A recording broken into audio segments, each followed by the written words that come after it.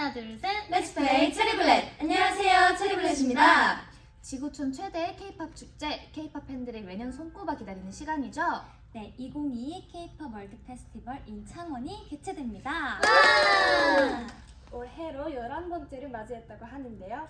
넘치는 끼와 재능을 겸비한 K-팝 팬 여러분들의 많은 참여 부탁드립니다. 지금까지 체리블렛이었습니다